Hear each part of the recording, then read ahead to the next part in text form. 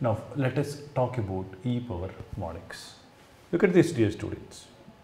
This is the graph of e power x. Retain the part of the graph whatever you have towards the right side of y axis that is this part of the graph. Use y axis as the mirror, write its replica. This is clearly e power mod x. Is it correct? Now, do you find any asymptote to this? So, none of the axes are asymptotes. So, let us not talk about asymptotes. But the graph or the curve is completely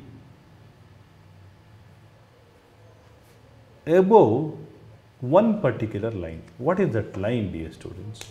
Above this line, of course it is touching this, no doubt about this, above this particular line. What is this?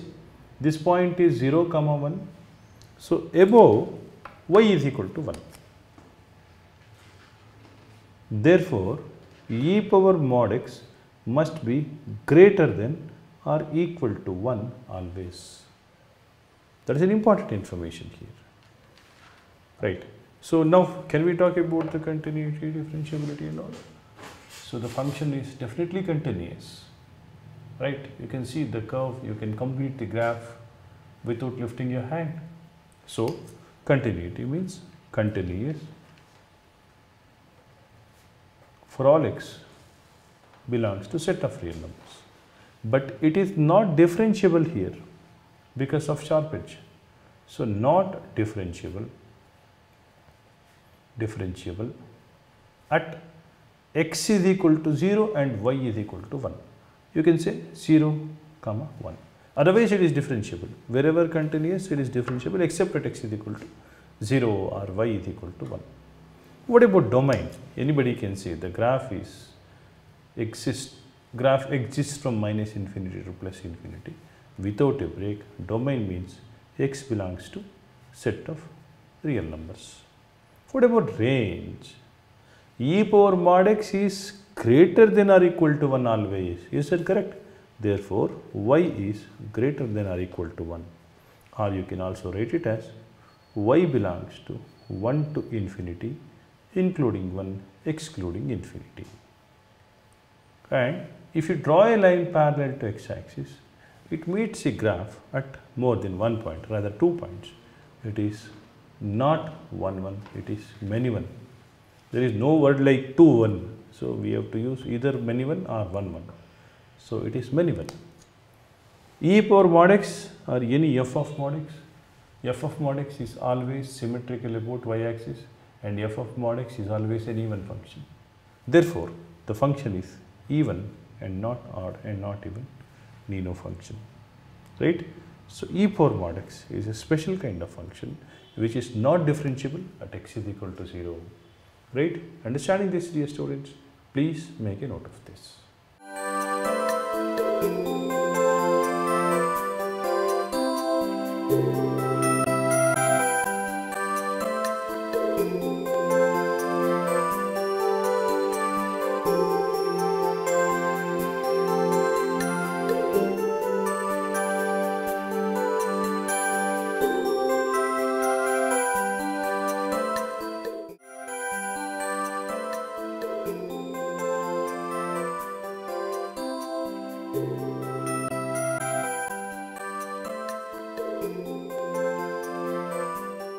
Now let us talk about e power minus mod x. First draw e power minus x and use the basics of functions and draw the graph of e power minus mod x.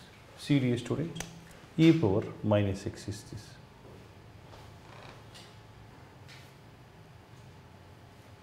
So retain the part of the graph you have towards right side of y axis. Right? Use y-axis as mirror, draw the replica of the same. Is that correct? So, this is e power minus mod x. See how simple it is, right? And definitely anybody can say positive x-axis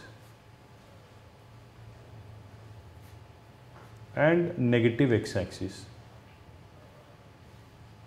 are asymptotes. Do you agree with me? And the graph exists between 0 and 1 only that we can see here. e power mod x lies between e power minus mod x, e power minus mod x, right? This is, this is greater than 0 and of course never becomes 0 and less than 1 and equal to 1. When it is equal to 1?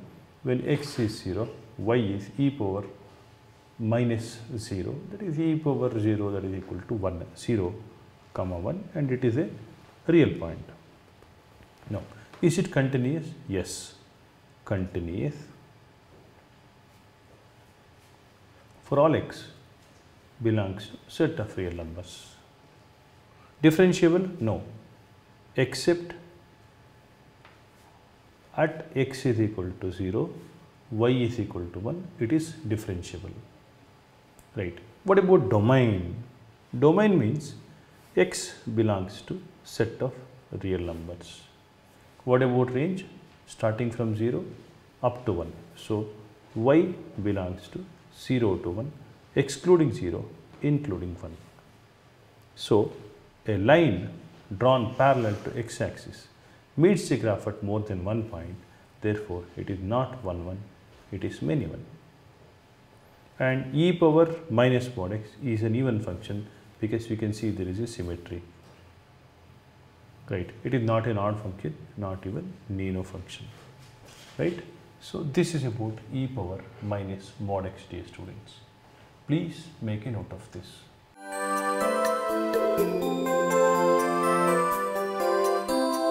Música